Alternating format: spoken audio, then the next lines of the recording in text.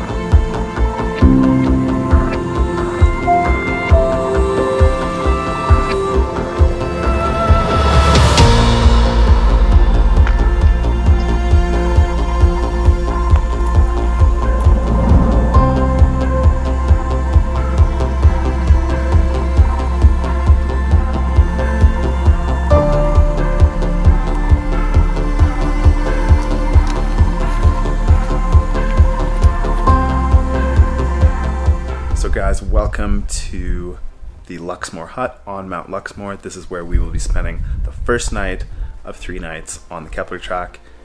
This is a massive hut. It sleeps over 50 people in these bunks that you see behind me. This is one of the bunk rooms. And it's kind of first come, first serve for bunks. So you get here earlier, you get a better choice of bunk. It was really cool on the way up here, kind of just seeing how the landscape changes. We have this amazing beech forest on the way up for like 90% of the track. And then for like the last 30 or 40 minutes of the track, you break through into just like tussock land above the tree line. The trees just totally stop. I'll show you guys the, how abruptly the tree line stops. You can kind of see it all around the lake, um, all sorry, on the mountains that border the lake. Um, so that was really cool. So this will be home for the night.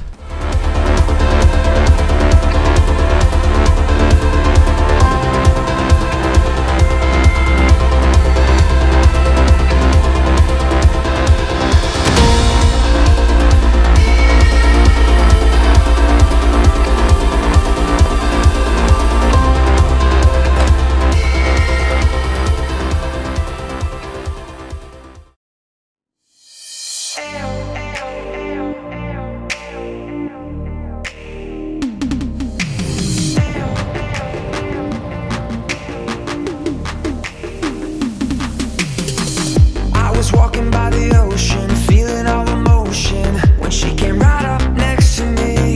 I got caught up in the Welcome to day two of the Kepler track. We woke up bright and early this morning and we looked outside and we just had these amazing views. The whole valley has just been shrouded in this crazy blanket of cloud. So everyone down at sea level right now is probably like, wow, today's gonna be a shit day because there's all this cloud. But up here, it's blue skies and cloud is all underneath us. We just have this sea of cloud in the valley. It's incredible. So today we're headed to the Iris Burn Hut. We have five or six hours more of hiking up and around Mount Luxmore and then descending down into another valley. So should be a great day up on top of the mountains here.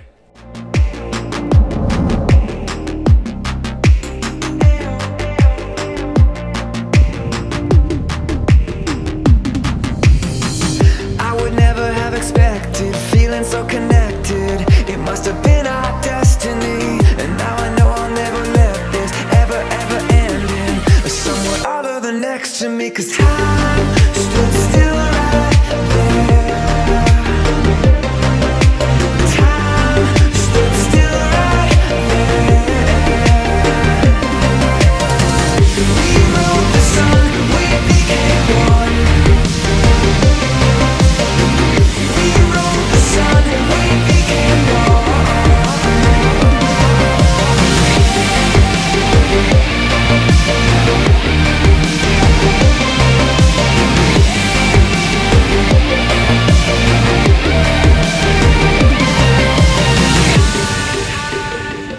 not gonna lie, guys, day two is definitely harder than day one. There was a lot of up and down, but it was seriously totally worth it. You guys saw the views that we had with that blanket of cloud over the lake in the morning and then kind of just going along the ridge of all the mountains throughout the day and then finally dropping back down to the forest and to where we are now at Irisburn Hut. We're at about 500 meters now, whereas we started today at about a 1,000, then we went up some more, I think we went up about 300 more, and now we're back to 500 meters. And the descent was honestly the hardest part of today. For whatever reason, like I would way rather be going up than going down, but we made it and Irisburn Hut, which you guys see right behind me here, is incredible.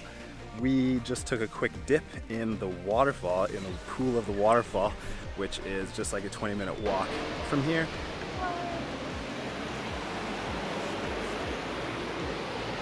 That's nice. And really, the only other thing to share about the Irisburn Hut is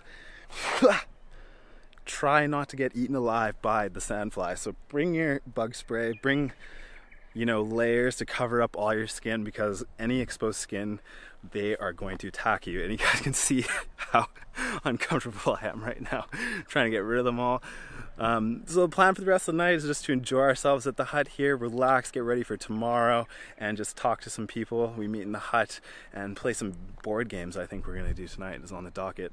Unfortunately we finished all our scrumpy last night so that's okay. We'll play some games instead